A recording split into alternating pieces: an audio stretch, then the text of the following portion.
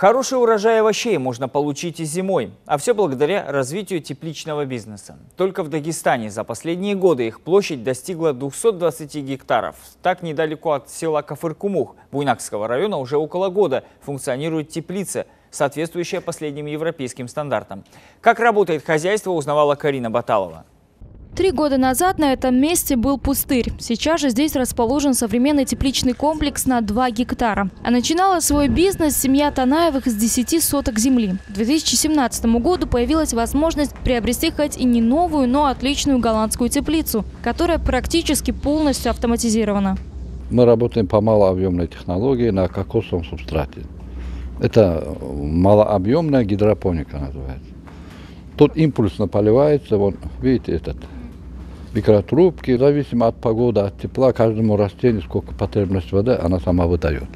Солнечный датчик позволяет рассчитать точное количество влаги для той или иной погоды. Климат-контроль обеспечивает идеальные условия для выращивания, в данном случае огурцов. Зашторивание, досветка, система вентиляции и индивидуальный расчет нагрузок на каркас и фундамент. Это не все, на что способна техника. Но в любом случае без ручного труда не обойтись и здесь.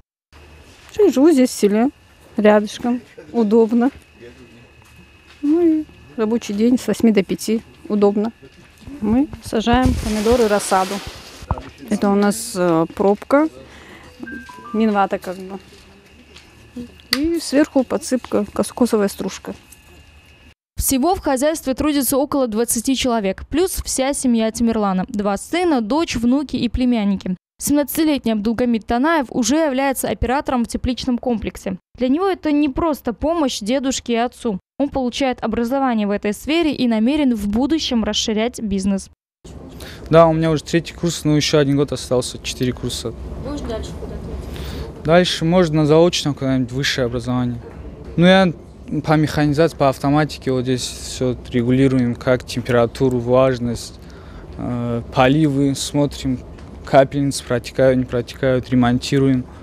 Сейчас теплицы выращивают огурцы. Они не приносят такой прибыли, как томаты, но помогают не уйти в минус и сделать перерыв между овощными культурами. Сбор урожая в самом разгаре. 30% этой продукции пойдет на местные рынки, остальное за пределы республики. Оптовая цена 140-150 рублей за килограмм.